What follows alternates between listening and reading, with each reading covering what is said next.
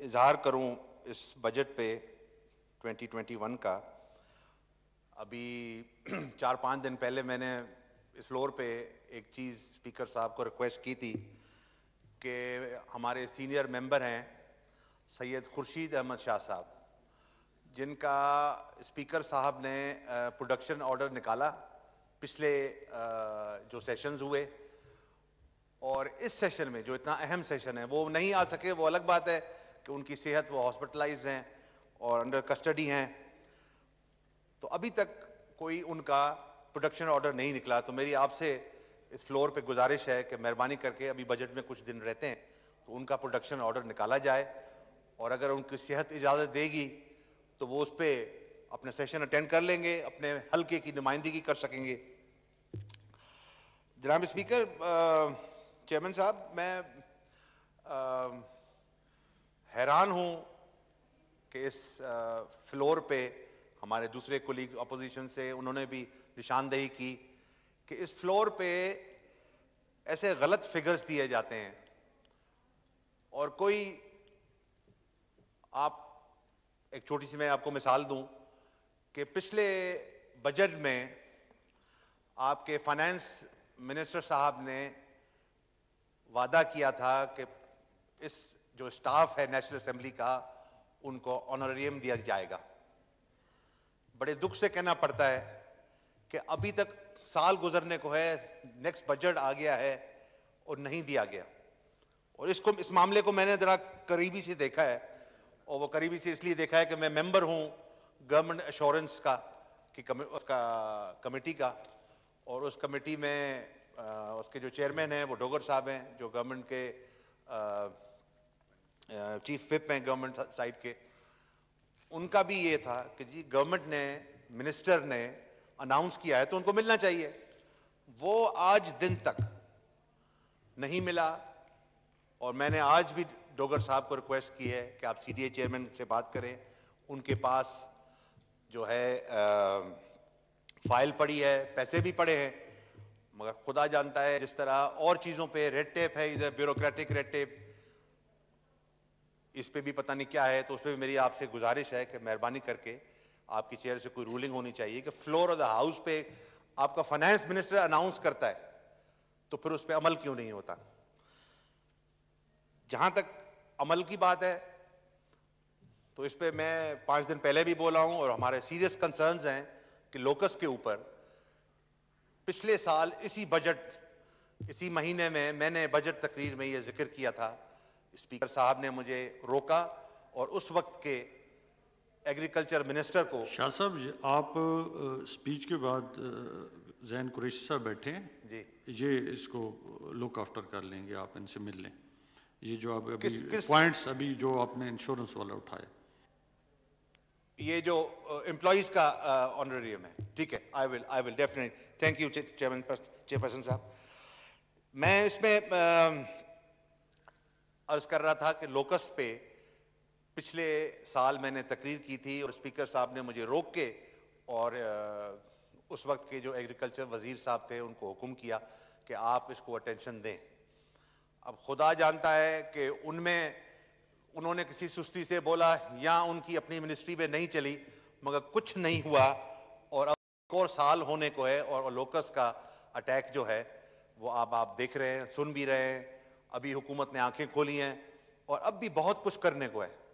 और मैंने पिछले दिनों भी यही अर्ज़ किया फ्लोर पे कि हमारे जो वज़ीर साहब आए हैं वो हम समझते हैं हम उनसे तवक्र रखते हैं लायक आदमी हैं मेहनती हैं एग्रीकल्चर को समझते हैं। अभी एक आ, हमारी मीटिंग हुई उसमें हम मौजूद थे उसमें मिनिस्टर एग्रीकल्चर थे शाह महमूद कुरैशी साहब थे बिकॉज़ उनका भी एग्रीकल्चर से की तरफ़ बहुत इंटरेस्ट है, उनको भी एहसास है कि एग्रीकल्चर जो है इस मुल्क की रीढ़ की हड्डी है। आम का जो एक्सपोर्ट है, इस वक्त चेयरपर्सन साहब, वो बहुत नाजुक वक्त पे है। आपके इस वक्त जो है, दो बॉर्डर्स बंद किए हुए हैं। एक अफ़गानिस्तान और दूसरा ईरान। अब हमें समझ नहीं आता कि इतने सीनियर वज़ीर जो हैं, वो उनको कह रहे हैं कि आप फिल फोर जो है एक्सपोर्ट खोलें। इसलिए कि ये आम जो है, इसकी शेल्फ लाइफ नहीं होती स्पीकर साहब। उसकी शेल्फ लाइफ बहुत कम होती है। जब आप उसको दरख्त से तोड़ते हैं तो उसमें चार दिन होते हैं। और आपको ट्रांसपोर्टेशन है, दूसरे मुल्क जाना है तो उसको आप अभी करना है। वरना हाँ खास तौर पे इस वक्त हमारे लोअर सिंध का आम ख़त्म हो चुका है। वो हमसे अर्ली होते हैं। अभी हमारे जैसे मैं शहीद बेनज़ीराबाद नवाबशाह डिस्ट्रिक्ट से ताल्लुक़ रखता हूँ, हमारा आम अभी उतर रहा है और विद इन अ वीक हमारा आम ख़त्म हो जाएगा। उसके बाद आएगा मुल्तान में, हमारे जैन साई इधर बैठे हुए हैं, ये इनके इलाके का आएगा। तो कम से कम अगर हमें मौका नहीं मिलता अपना आम एक्सपोर्ट करने का तो कम से कम मुल्तान वालों को तो मिल जाए। वो भी हमारे इस मुल्क के रहने वाले हैं। मगर मुझे नहीं समझ आता कि क्यों उसको अभी तक ब्यूरोक्रेटिक रेड टेप ने नहीं इजाज़त दी। इसमें जो मुझे समझ आया है, इसमें ज़्यादा से ज़्यादा रुकावट जो है, वो मिनिस्ट्री ऑफ़ इंटीरियर की है। हमें समझ नहीं आता कि वहाँ आपकी ख़ास तौर पे ईरान पे कुछ आइटम्स हैं जो जा रहे हैं और आ भी रहे हैं। तो इसमें आग को रोकने का क्या जवाब बनता है? तो हम समझते हैं कि ये अनाड़ी हुकूमत, अल्लाह करे, इनको होश आए और ये इस तरफ़ तवज्जा दें। बिकॉज़ ये आपका निकल जाएगा। ये आप सोचें कि ये कितने जो हैं, वो टन आप एक्सपोर्ट करते हैं और उससे आपकी फॉरेन करेंसी आपको आपके मुल्क में आती है। तो खुदा जाने ये इस पर भी क्यों जो है वो टिड्डी दल की तरह गवर्नमेंट जो है खामोश है स्लो है। और जनाब जहाँ तक हमारे दूसरे दोस्तों ने भी इसका ज़िक्र किया कि क्राइसिस के ऊपर क्राइसिस इस गवर्नमेंट के आ रहे हैं सामने। और हम जो आजकल के हालात हैं, हम इन, इनके साथ सिंपति रखते हैं। जैसे हमारे मोहसिन राजा साहब ने भी कहा कि हम हम खुश होंगे अगर ये एक मुल्क के लिए कोई बेहतरी करेंगे। हम ये चाहेंगे कि ये अपना टिन्योर पूरा करें। ये ना कहें कि बाद में कि जी हमें मौका नहीं मिला, वरना हमारी परफॉर्मेंस बेहतर होती। मगर बड़े दुख से कल जो मैंने इधर देखा, इतने इनके जो इतिहादी हैं कल आपने देखा होगा मैंगल साहब ने अनाउंस किया वो उसको नहीं संभाल सके हैं। ऐसी शख्सियत जो उनको चार वोट जो है वो आपको आ, दे रही है अपने चार इलेक्शंस में प्रेसिडेंशियल प्राइम मिनिस्टर का स्पीकर का डिप्टी स्पीकर का आप उनको आ, सही अटेंशन नहीं देता कि ये कब होश के ठिकाने लेंगे। मैं तो इस हद तक स्पीकर साहब ये आपसे इनसे पूछना चाहूँगा कि मुझे ये बताएँ कि अगर फाइनेंस बिल फाइनेंस बिल अगर ये पास नहीं करा सकते तो ये क्या करेंगे? इसलिए ये अनरिटन लॉ है कि अगर government of the day finance bill ना पास करा सके तो उसे घर जाना पड़ता है। ख्वाजा साहब सीनियर हमारे, इस पर रोशनी डाल सकते हैं कि आप ख्वाजा साहब बताएँ कि क्या फाइनेंस बिल अगर पास नहीं कराएँगे तो ये घर जाएँगे या फिर जिस तरह ये स्टेटमेंट्स देते हैं, इस देर यू को आप, आपके ब्यूरोक्रेट भी इधर बैठे हुए हैं, मुश्ताक साहब, आप इनसे भी पूछ सकते हैं। मुझे यहाँ कोई गारंटी देगा कि जी फाइनेंस बिल अगर ये नहीं पास करा सके तो ये घर जाएँगे? मैं ख्याल, मेरे ख्याल से नहीं जाएँगे। इसलिए कि जिस तरह ये झूठी स्टेटमेंट्स झूठे फिगर्स यहाँ बताते हैं, ये फिर एक कोई नई कहानी गढ़ लेंगे और उस उस नई कहानी में ये होगा कि जी इस गवर्नमेंट को जो है फाइनेंस बिल पास करे, ना करे, पाँच साल उन्होंने पूरे करने हमारी ख्वाहिश है अल्लाह करे कि ये पाँच साल पूरे करें, इस मुल्क की कुछ बेहतरी करें और फिर हम आवाम के पास जाएँ, सारी पॉलिटिकल पार्टी सारे जो है वो फिर अपने कारकर्दगी पे अगली इलेक्शन लड़ें।